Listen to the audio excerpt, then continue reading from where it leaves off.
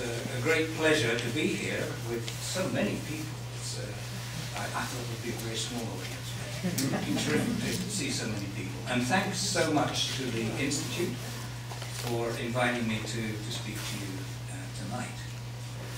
Um, my passion has always been snow and ice. As you can probably tell from my accent, I was brought up in England. Not much snow and ice there, so emigration to Canada just over 50 years ago, and have um, witnessed the glaciers in the Rockies um, disappearing in front of our eyes, and glaciers uh, around the world uh, doing similarly.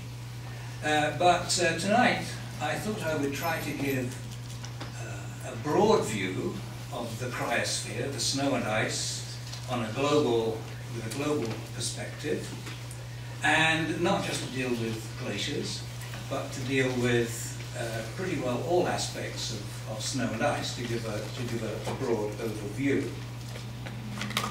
Um, this is a, a strange looking uh, map of the world, uh, but um, uh, you can see on the left the largest ice mass in Antarctica, something like 85% of the world's ice there, another 11% or so in uh, Greenland, and um, most of the rest, 4% or so, uh, most of that is in fact in the Arctic islands and small amounts in the rest of the world. You, you may be surprised at those statistics.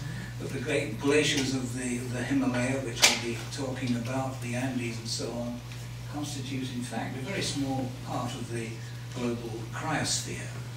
But um, you'll see there in the, uh, oh, my, my hand's too, too shaky for this, um, the uh, blue there is the, are the permafrost regions of northern Canada and Russia, and the green are the um, per perennial uh, the seasonal snowpacks, which of course come and go uh, with, with the seasons.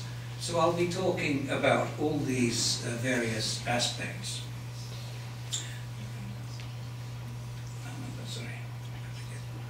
There we are.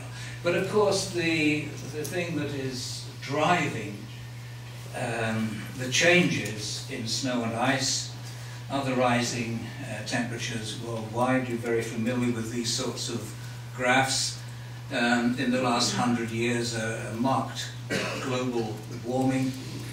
And um, the snow and ice areas of the world are the ones which are uh, suffering most or most responding to those uh, changes in, in, in temperature.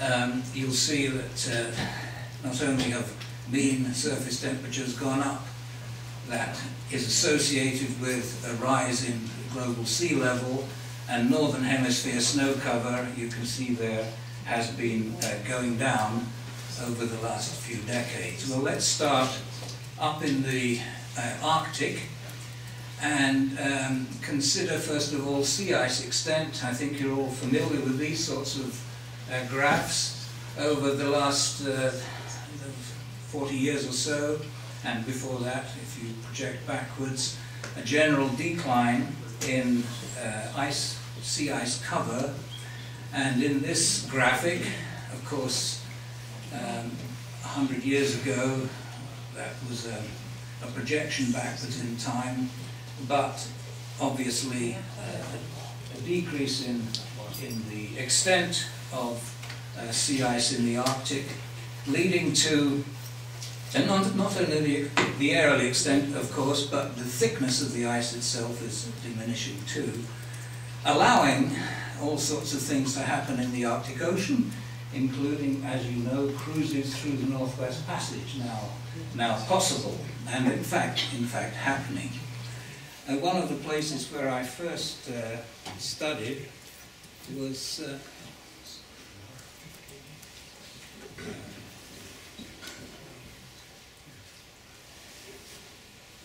Svalbard, uh, way north of uh, Norway. That was my first uh, expedition as, a, as an undergraduate student back in 1963. And um, just last week in The Economist, there was a really interesting article on reindeer in, in Svalbard and how they, the reindeer herds, are suffering because of warmer winters. Uh, and the, the suffering is induced by rainfall events happening in during winter when it's supposed to be really cold and there's supposed to be no rain. And that rain percolates through the snowpack and then refreezes into ice layers, uh, leading to uh, starvation of, of the reindeer uh, because they cannot dig through the snow to get to the vegetation uh, underneath. And this has led to lower birth rates, and the question is, uh, are reindeer at a sort of tipping point? What if you had two winters in a row when there was a lot of uh, rainfall and snow events? Um, because in 1993 there was one very severe incident and the reindeer population fell by about 70% just as a result of that. So here is a, an interesting ecological change uh, associated with the changing um, uh, cryospheric conditions. And in fact, it's not only reindeer, but it's Arctic foxes, and it's ptarmigan, and uh, other creatures uh, that are being uh, uh, affected. affected. Permafrost, of course, as you know, is present in either continuous or discontinuous forms in much of northern Canada, and the permafrost is uh, slowly re retreating northwards. Those maps have to be redrawn, and you're probably familiar with these sorts of photographs of slumping uh, of the uh, of the of the sides of the rivers and so on and presumably having quite an effect on sediment transport in uh, rivers affected. This is on the Mackenzie. Effects too on human settlements. Structures are falling over, tilting over as a result of uh, permafrost thawing. And there are many examples of this, for example, is a pipeline which has been buckled up because of the uh, changes in the permafrost. And uh, we all hear about these uh, ice roads in, in winter, uh, very important for northern communities. Um, the roads are simply not there in summer, and uh, winter transport is, is essential for many uh, distant northern communities. And because winter is becoming shorter, and ice is becoming thinner on lakes and, and rivers, then you get situations like this. And this is uh, definitely affecting uh, many of the remote communities in northern Canada. Um, ice jams. I don't know an awful lot about whether ice jams are getting worse or not. I presume that if the ice is thinner, and not so much of it, there won't be so many ice jams. But uh, I'm not exactly sure of that. And this is a photo from a colleague of ours, uh, Spyros Beltaos, and you can see the effects of uh, ice on, on structures. And as I say, I'm not really sure what changes in uh, ice damming are, uh, uh, how they're being affected.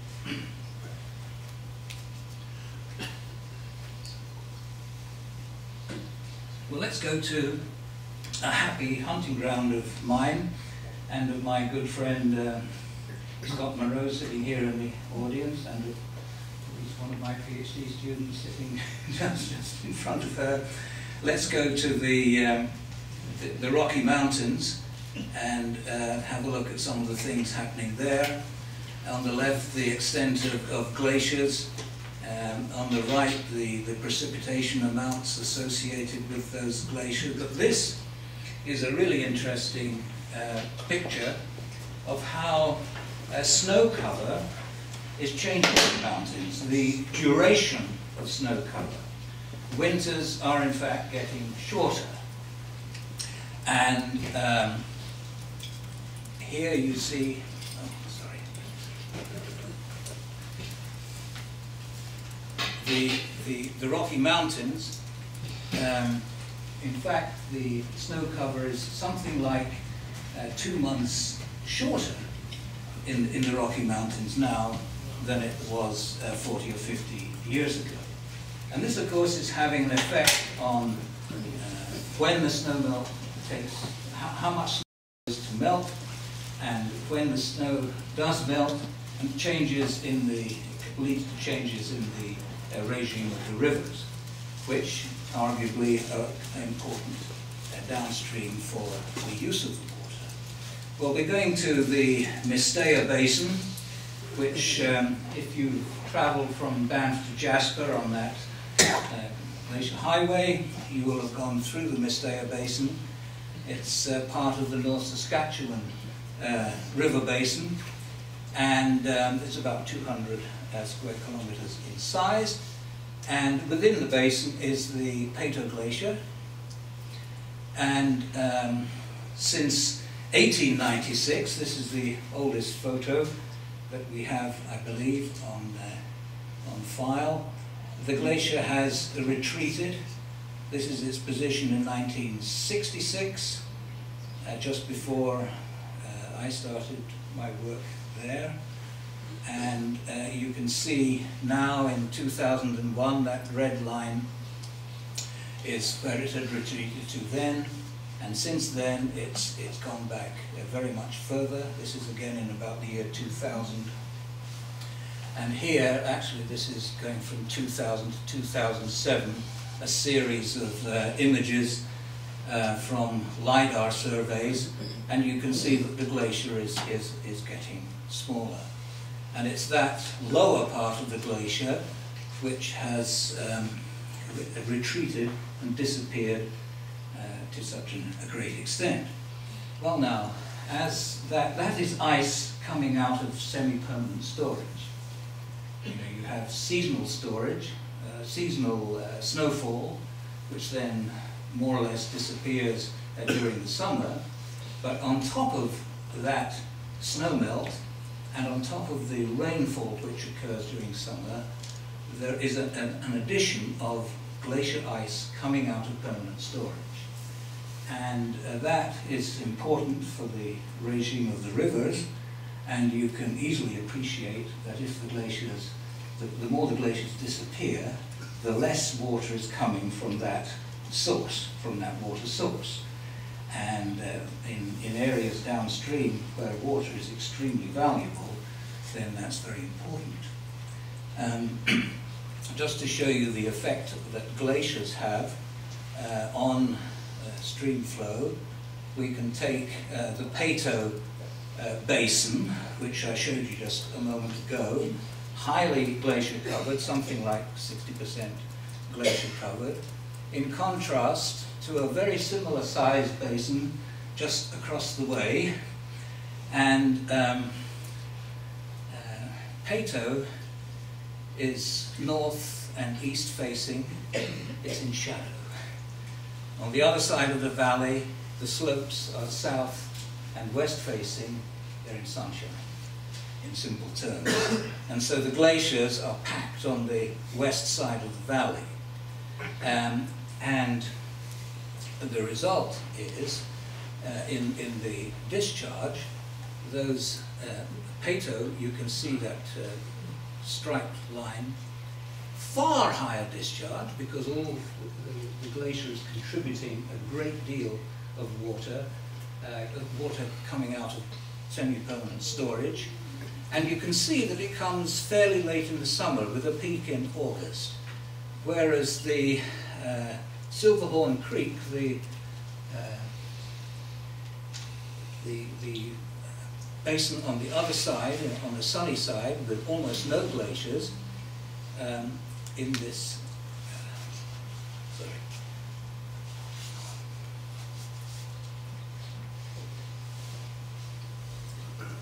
The open area here, you can see that the the highest flows are in uh, June and July, uh, snowmelt peaks, and there's no influence of, of, of glacier melt. Here's just another example, Peyto Creek at the top for one particular year, and um, compared to the North Saskatchewan much further down with much less glacier cover. The Peyto has a snow melt peak here, but the highest flows are late in the summer in, in August. Whereas uh, the North Saskatchewan, with a far smaller glacier cover, has a big snowmelt peak, and that's the dominant peak. Nothing else compares to it. You'll see these up and downs here. Those are diurnal fluctuations. The glacier melts during the daytime, and it sort of shuts down overnight. And this is reflected in the discharge. If you want to cross a glacier-fed stream, uh, you cross it really early in the morning. uh, otherwise, you, you, may be uh, washed away late. And um, that, that, those diurnal fluctuations are really, really prominent, especially late in the summer. And if you were to look at the timing of the exact, the exact timing of the peaks, you'll find that as the summer goes on, the peaks become earlier and earlier. And that is because at the beginning of the season, when the glacier ice has uh, moved and filled up all the crevices and cracks and hollows, the water can't get through very quickly. But once water, meltwater starts getting through and it uh, wears away, if you like, the ice, the channels get bigger and the water can exit faster. So in fact, uh, as you go on in the season, uh, the daily peaks uh, come earlier And earlier. And again, um, on the top, a 1% glacier covered catchment, the timing of the peak early in the season because it's snowmelt dominated. At the bottom, a highly glacier covered catchment with um, much later peaks. And here, here again, you'll see that, well, this is the Bow River at Banff. Quite big differences one year to another in the, the monthly discharge, these are monthly figures, um, in, a, in 1970, there was very little snow. So the snow, snow melt peak is quite low compared to, say, 1972, when there was a lot more snow.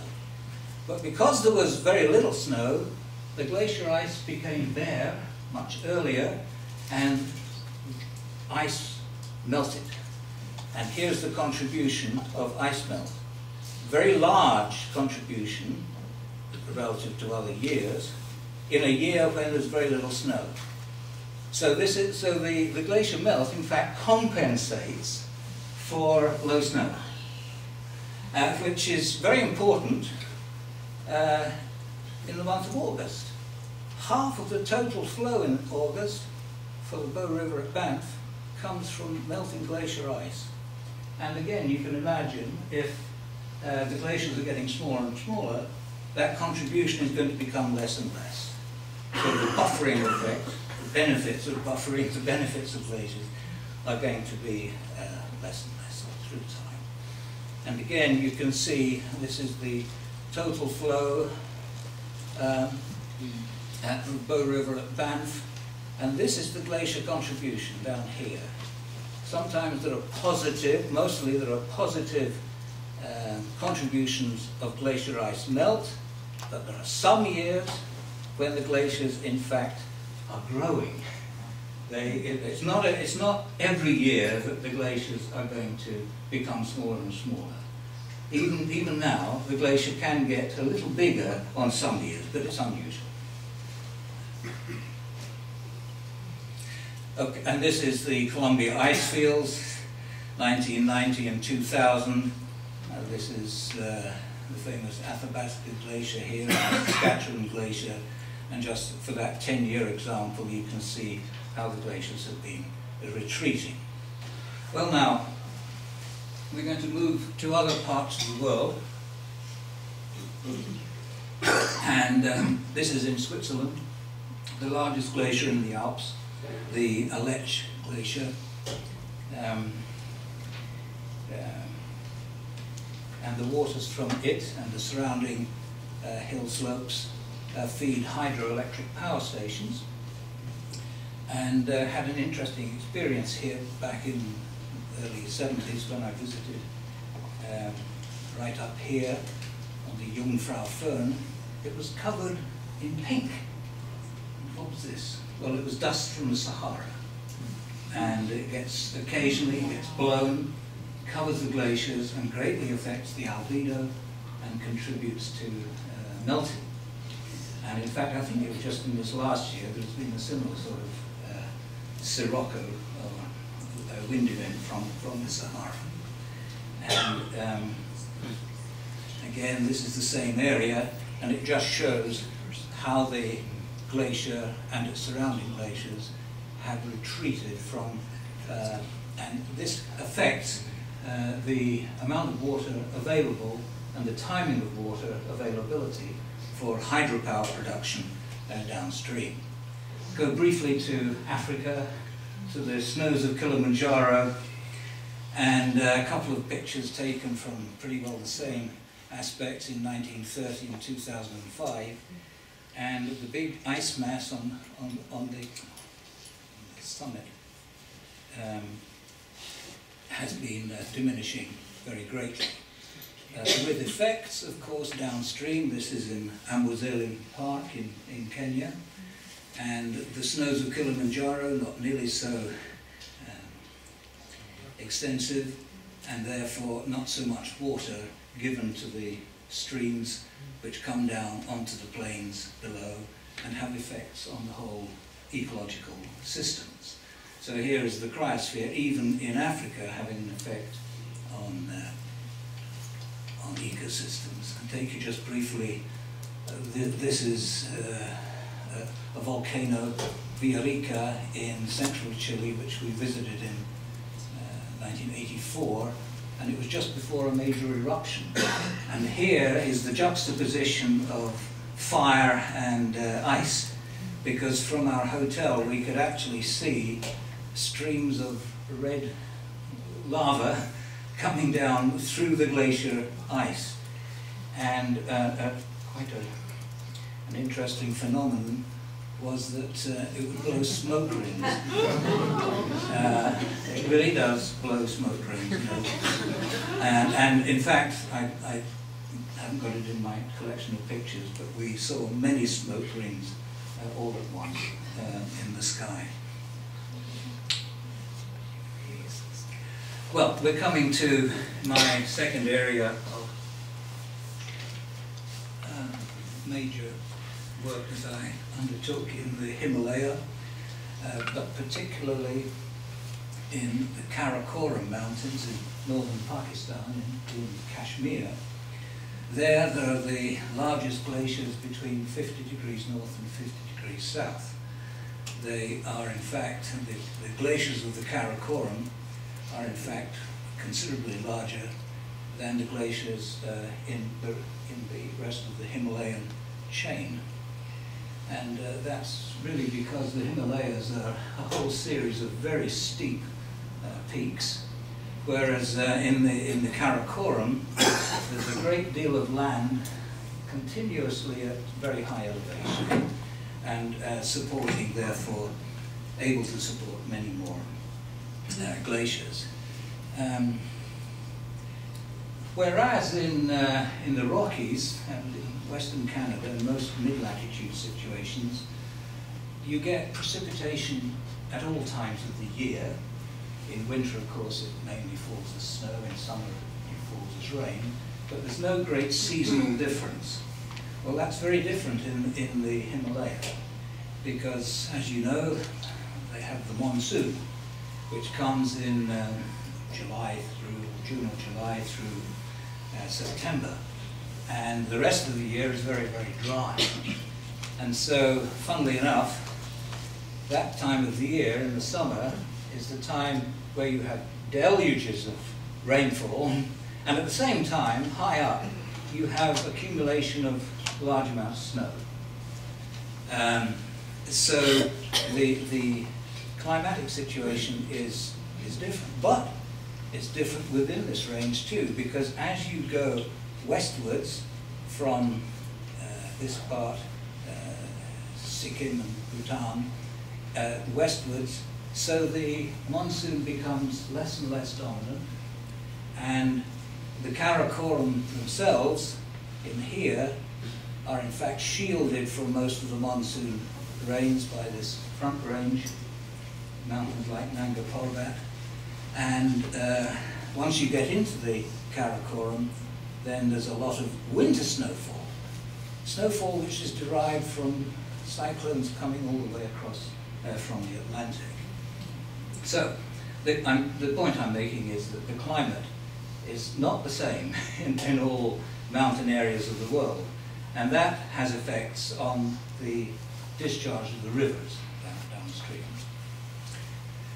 And here's just another depiction of that same area, the Karakoram up here, here are the Himalaya, snow-covered, and this is the subcontinent continent, uh, down here.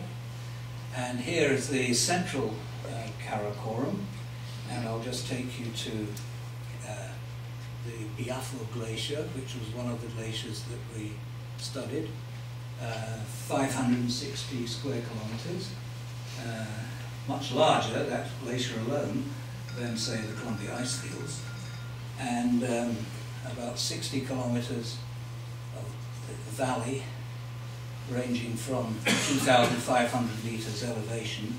But once you get into the Snow Lake up here, you're up with mountains above uh, 7,000 meters.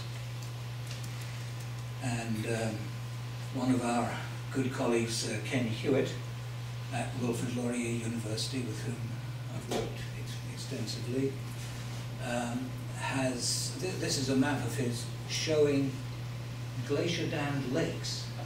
Now, in the Karakoram, there are lots of glaciers which surge. Every so often, every 10, 20, 30, or 40 years, depending on the size of the glacier, the glacier will suddenly surge forward. Um, and sometimes run right across a valley and block it. And then the river flowing down that valley will form a lake behind, and eventually the ice dam will uh, break. Uh, usually it's water going underneath the ice, the ice essentially floating on the water, and that can initiate huge floods.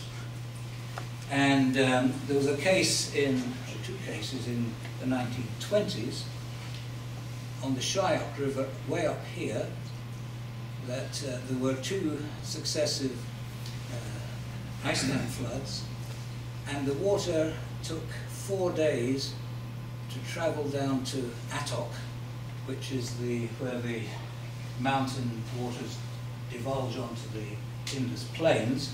It took four days to come down, but even then, the river stage, that is the height of the river, the height of the surface of the water, uh, went up 18 meters, uh, which, is, which is huge. And um, there was a case in 1841 of a, an army uh, camped on, on, the plains down below, uh, and they were washed away suddenly, because this can come uh, really quickly. And there are lots of examples of that. So um, the, the changes in the shape of glaciers can really influence, in this case, the development of uh, floods. Uh, or just a few pretty pictures of the difficulty of getting there to do field work. Here's somebody crossing on, on a rope bridge. And um, this is the way you sometimes have to cross rivers, being pulled across on these little trolley things. And uh, I made a mistake grabbing onto the wire, and of course it takes all the skin off your hands if you're stupid enough to do that. and here we are walking up the Biafo Glacier. It took uh, six days to walk up that first section, and um, then we get into the snow fields at the top.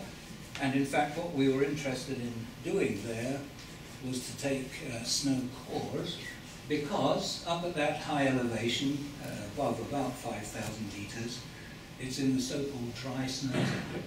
There's never any melt. well, maybe there's going to be melt if temperatures keep on rising. But it's the dry snow zone, and so each annual layer is well preserved. And you can core down through those layers and you can say, okay, last year there was so much snow, the next year there was so much, next year, and so on. And you can get a very good idea of the total precipitation uh, up at that elevation. And you may say, well, uh, doesn't, aren't there avalanches and aren't there, doesn't snow blow around and, and contaminate the records? Well, this snow zone up there is so large, 300 square kilometers, that you can go to places where there are no avalanches and the snow blowing in equals roughly the snow blowing out. And so you can get a very good idea of the, accumul of the precipitation at those high levels. And it is at the high levels that the precipitation occurs. Right down in the valleys, it's very, very dry, virtually no precipitation. It's in the very high areas where the precipitation does, does occur. And I'll just take you to the Everest area. Uh, Everest is, this is the Khumbu Glacier here. Everest is in around here. And um, you may be able to see little blue places. These are little lakes.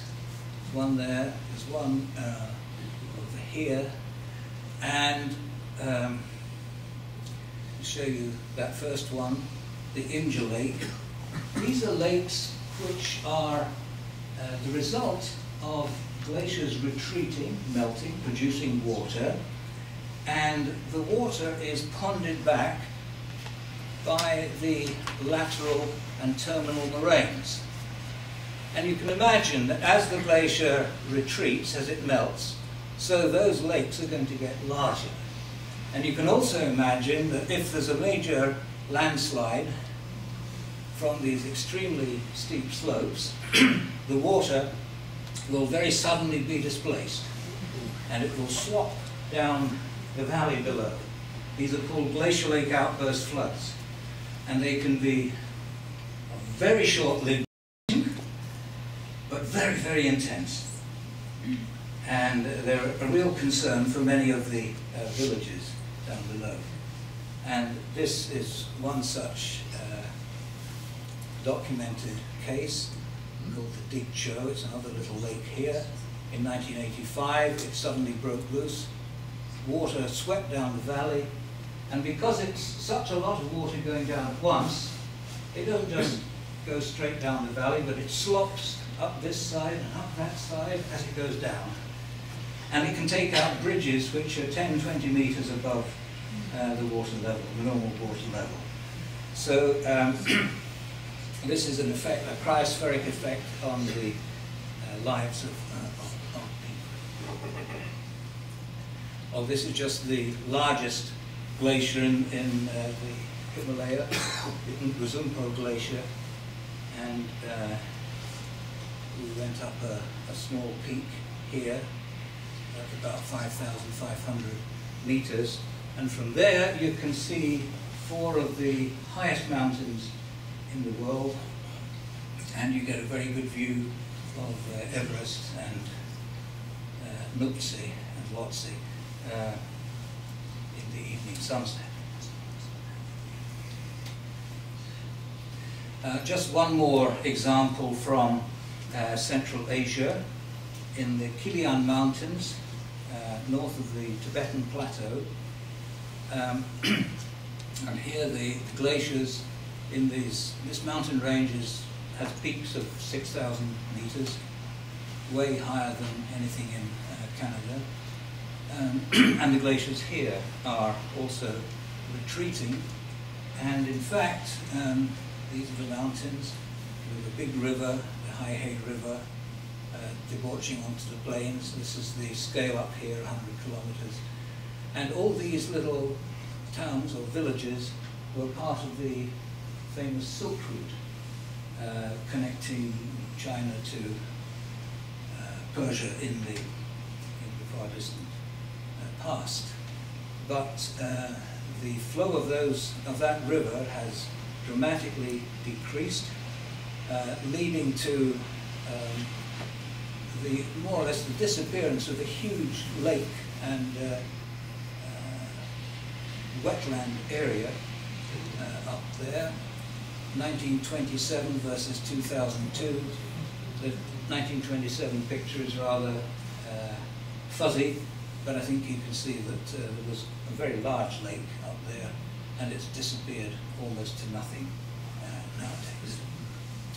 Well, I'm going to uh, finish by taking you to Antarctica, where, as I said, most of the ice in the world is uh, rest, and to the relatively small West Antarctic, relatively small West Antarctic uh, ice sheet compared to the East Antarctic.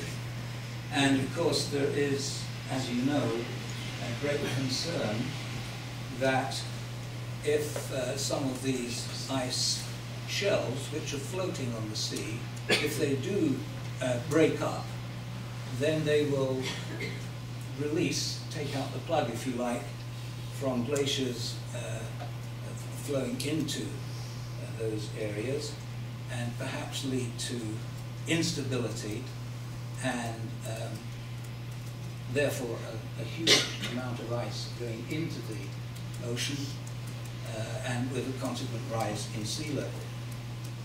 There's one particular glacier called the Thwaites Glacier, which is really an ice stream within the West Antarctic uh, ice shelf. And, and here it is. This is the ice stream of Thwaites. Its, um, its front is about 125 kilometers long, and it's going at in more than um, a kilometer a year into the sea. And there's a, there's a similar but slightly smaller one up here at Pine Island. And it is estimated, I'm really not sure how accurate this is, but it's estimated that the, the Thwaites Glacier alone is already contributing 10% of global sea level rise. As I say, I'm, I'm not sure whether that's true or not, or how precise that is, but even if it's only approximately correct, then that is really significant. If the Thwaites completely melted, then it alone could raise sea level by about half a metre. And as you know, if the, if the Greenland ice completely melts, which is unlikely in the next few hundred years, but possible, uh, if that all melted, seven metres rise in sea level. And so we, we should be concerned about those sorts of things, because many of the world's very large cities are right down at sea level. and these um, economic and uh, considerations have, have been developed. And they've listed here the, the 20 cities most at danger. And here's Mumbai. And this, this is a few years ago that this was. But anyway, nearly 3 million people uh, would be displaced with economic consequences of so many millions of, of uh, dollars or whatever the uh, financial unit is. Um, it's interesting you'll see that Miami is number four in importance, and yet uh, Miami keeps on being developed. Tell me why. well, I haven't covered all the various aspects of the global cryosphere. I haven't talked about avalanches and various other things, but uh, hopefully that's given you some uh, food for thought. Back on the Columbia ice fields in the 70s, members.